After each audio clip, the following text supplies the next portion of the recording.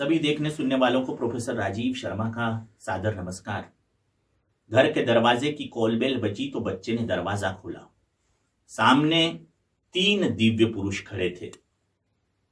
दिव्य पुरुषों ने अपना नाम बताया। एक ने कहा, मैं धन हूँ। दूसरे ने कहा, मैं वैभव हूँ। तीसरे ने कहा, मैं प्रेम हूँ। बच्चे ने कहा, क्या चाहते हैं आप? तीनों ने कहा कि हम तीनों में से कोई एक आपके घर आना चाहता है। कौन आ जाए? बच्चे ने कहा, ये तो मुझे मम्मी पापा से पूछना पड़ेगा, बच्चा। पापा के पास गया, कहा कि तीन दिव्य पुरुष खड़े हुए किसे अंदर बुला लू? पापा ने कहा कि, ऐसा कर, धन को बुला ले। मम्मी ने कहा, ऐसा कर, वैभव को बुला ले। चकाचौंध रहेगी, ऐश्वर्य रहेगा। बच्चा दरवाजे के करीब आया तो उसे धन और वैभव में कोई रुचि नहीं थी। उसे लगा कि मैं तो प्रेम को बुला लेता हूँ।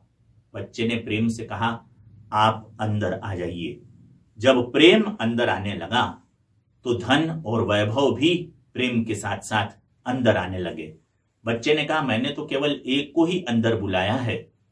तो धन और वैभव ने कहा कि जहाँ प्रेम होता है, वहाँ हमें अपने आप जाना ही पड़ता है।